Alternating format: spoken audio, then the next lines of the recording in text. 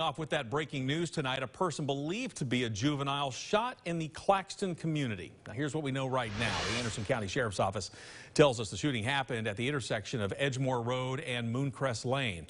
Authorities say the suspects left the scene before they arrived. Now, we're told the victim is in serious condition. Lifestar called in to take that person to the hospital. At this time, no other information has been released. Of course, we're going to update you as we learn more.